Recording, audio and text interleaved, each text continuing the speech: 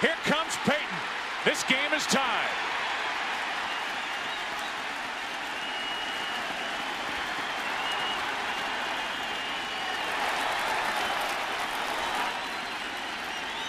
The Mets finally break through, and it's Bubba Trammell off the bench with a two-run single.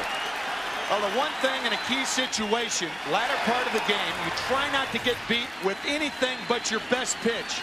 A hanging curveball is certainly not the best pitch by Andy Pettitte, nor is a good curveball called for in this situation. Right around the belt for Bubba Trammell. What a huge hit in his career.